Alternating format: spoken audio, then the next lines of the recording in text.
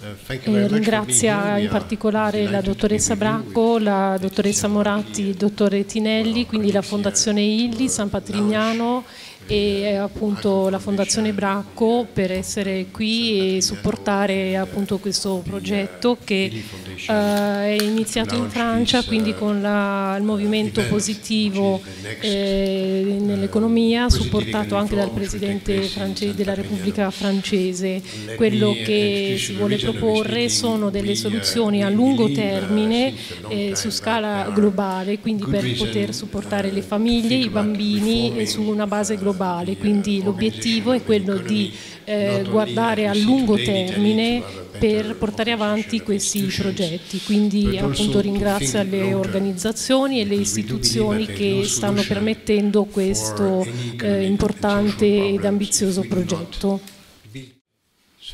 questo movimento è iniziato un paio di anni fa, eh, non lontano da Parigi, a Le Havre, con eh, appunto l'intenzione di eh, coinvolgere molti soggetti come le eh, organizzazioni non governative, eh, istituzioni governative, cooperative e diversi movimenti. È iniziato appunto come movimento per l'economia positiva e, mm, e il dottor Rattari Natali è presidente di Planet Finance e vuole appunto mh, provvedere al supporto di eh, tutti i soggetti economici prima menzionati e con lo scopo quindi di migliorare l'economia globale, in particolare eh, supportare eh, e mh, sviluppare anche il settore lavorativo mh, eh, sviluppando appunto il settore del, del lavoro.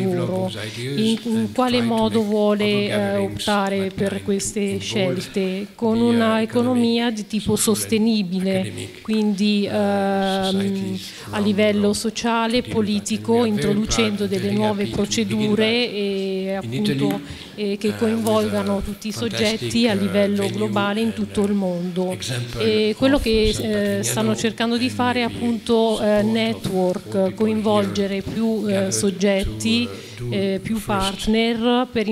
per coinvolgere eh, soggetti sociali ed economici, il mondo accademico, la società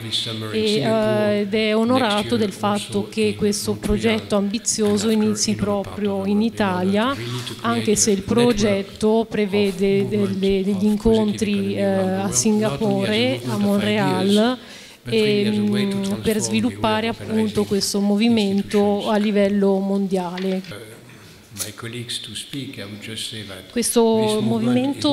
vuole chiarire che non è solo accademico, ma vuole coinvolgere appunto tutti i soggetti ad ogni livello. Eh, quello di cui si preoccupa in modo particolare è la generazione futura, per questo il, la necessità di considerare il tutto a lungo termine, perché se non riusciamo a coinvolgere, a fare un progetto a lungo termine per le generazioni future, la, la società diciamo, cadrà in una sorta di frustrazione, invece noi ci vogliamo liberare da questa frustrazione e dalla crisi quotidiana che si sperimenta giorno per giorno e per attuare un'economia sostenibile sia per i francesi che per gli italiani eh, dobbiamo appunto iniziare a costruire il nostro futuro. Il progetto è per i prossimi 30 anni, quindi bisogna considerare eh, i singoli paesi ma l'Europa in, in generale. e le decisioni diciamo, che vengono prese giornalmente, ad esempio dalle persone e per uh, attuare un'economia positiva bisogna focalizzarsi su decisioni prese eh, giornalmente e l'obiettivo è il miglioramento della generazione futura e quindi un lungo termine, un progetto a lungo termine.